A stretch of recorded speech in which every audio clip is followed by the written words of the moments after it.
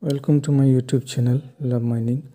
Today we are going to discuss chapter number 5 Electric Power Supply of Mine Machinery 2. This lecture is very important for third year diploma mining students. In this lecture we are dealing with how many cables are used in mines. So let's start. Mine में तीन तरह के cable use किए जाते हैं, permanent cable semi flexible cable, and flexible cable.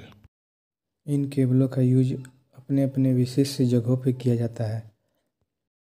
यह cables बहुत ही मजबूती और सेफ्टी को ध्यान में रख के बनाया जाता है, ताकि अंडरग्राउंड में अगर शॉर्ट सर्किट भी हो तो कोई खतरा ना हो।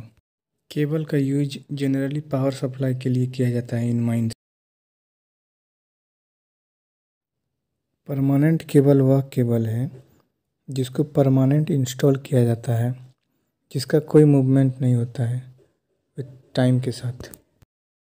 समय के साथ सुरक्षित रूप से इंस्टॉल कर दिया जाता है। परमानेंट केबल तीन तरह के होते हैं।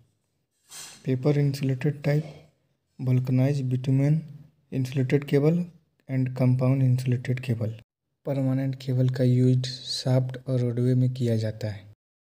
अब आते हैं semi flexible cable semi flexible cable are those cable which are use for semi permanent machines semi flexible cable are use in conveyor loader and other semi permanent machine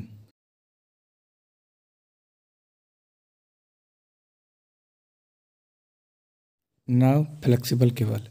Flexible cable used for portable machine and running machine portable machine means that are design to be easily carried and moved anywhere in mines these flexible cables are use in C C M coal cutting machine drill H D L and L H D so दोस्तों, आज के लिए इतना ही। अगले video में हम लोग इसका कंस्ट्रक्शन और डिफरेंट पार्ट्स देखेंगे। पेपर इंसुलेटेड केबल्स में एक पिलसिडवा केबल्स आता है, जो कि बहुत इम्पोर्टेंट है एग्ज़ाम पॉइंट ऑफ़ व्यू के लिए। उसको हम लोग अगले लेक्चर में देखेंगे।